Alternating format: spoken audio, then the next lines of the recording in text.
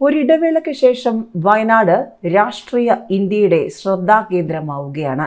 രാഷ്ട്രീയ കേരളത്തിന്റെ ശ്രദ്ധയും വയനാടിലേക്ക് തന്നെയാണ്. രാഹുലിന് ഇരപരിവേഷം നൽകി നേട്ടമുണ്ടാക്കാൻ കോൺഗ്രസ് രംഗത്തിറങ്ങുമ്പോൾ മറുവശത്ത് കളം പിടിക്കാൻ സി പി എമ്മും ഇതിനിടയിൽ കേന്ദ്ര ബി ജെ പി കേരളത്തിലേക്ക് വയനാട് ലക്ഷ്യം വെച്ചിറങ്ങുമോ? സ്മൃതി ഇറാനിയെ അംഗത്തിനിറക്കുമോ? നരേന്ദ്രമോദി നേരിട്ട് കളത്തിലിറങ്ങുമോ? ഒരുപാട് ചോദ്യങ്ങൾ രാഷ്ട്രീയ കേന്ദ്രങ്ങൾ ഉറ്റുനോക്കുകയാണ്. രാഹുൽ ഗാന്ധിയുടെ അയോഗ്യതാ കേസിലെ ഗുജറാത്ത് ഹൈക്കോടതി വിധി തിരിച്ചടിയാണെങ്കിലും അത് രാഷ്ട്രീയ ആയുധമാക്കാൻ സംസ്ഥാന കോൺഗ്രസ്. രാഷ്ട്രീയ കേരളത്തിന്റെ ശ്രദ്ധ രാഹുലിന്റെ മണ്ഡലമായ വയനാട്ടിലേക്ക് കേന്ദ്രീകരിക്കുകയാണ് കോൺഗ്രസ് മാത്രമല്ല എല്ലാ രാഷ്ട്രീയ പാർട്ടികളും മുന്നണികളും. ദൗർഭാഗ്യത്തിൽ നിന്നുള്ള ഭാഗ്യാവസരമാണ് കോൺഗ്രസിന്റെ മനസ്സിലുള്ളത് എന്നാണ് രാഷ്ട്രീയ കേന്ദ്രങ്ങൾ അടിവരയിടുന്നത്. ബി ജെ പിക്കെതിരായ പോരാട്ട നായകനായി ഇരയുടെ പരിവേഷത്തോടെ രാഹുൽ ഗാന്ധിയെ അവതരിപ്പിക്കുമ്പോൾ മറുവശത്ത് രാഹുലിനെ അമേഠിയിൽ തറപ്പറ്റിച്ച സ്മൃതി ഇറാനി വയനാട് ഇറങ്ങുമോ എന്നുള്ളതും ഏവരും ഉറ്റുനോക്കുകയാണ്. കാരണം പോയ നാളുകളിൽ കേരളത്തിലെ ആദിവാസി മേഖലയിലെ പ്രശ്നങ്ങളടക്കം കൃത്യമായി മനസ്സിലാക്കി വേണ്ട നടപടികൾ സ്വീകരിച്ച് സ്മൃതി ഇറാനി രംഗത്ത് വന്നിരുന്നു. കോൺഗ്രസ് നേതാവ് രാഹുൽ ഗാന്ധിക്കെതിരെ അതിരൂക്ഷ വിമർശനവും സ്മൃതി ഇറാനി പല വിഷയങ്ങളിൽ വയനാട് കേന്ദ്രീകരിച്ചും ഉയർത്തിയിരുന്നു.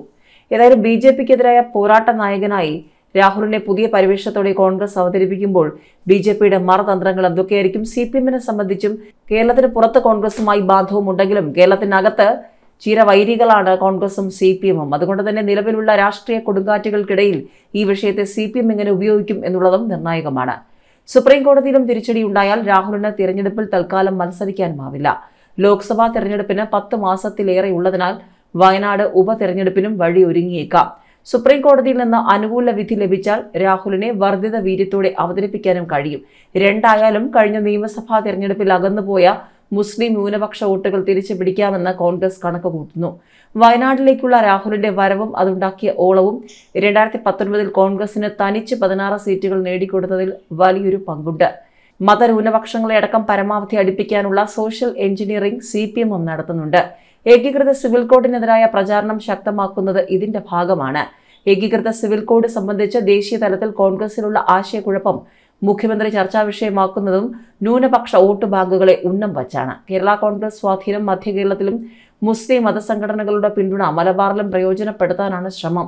രാഹുലിന്റെ ഇരപരിവേഷത്തിൽ തങ്ങളുടെ കണക്കുകൂട്ടലുകൾ തകിടം മറിയാതിരിക്കാനുള്ള ജാഗ്രത സി പി എം പുലർത്തുന്നുണ്ട്. രാഹുലിനെതിരായ വിധിയിൽ അദ്ദേഹത്തെ പിന്തുണയ്ക്കുന്ന സമീപനമാണ് സി പി എം ദേശീയ തലത്തിൽ സ്വീകരിച്ചത്.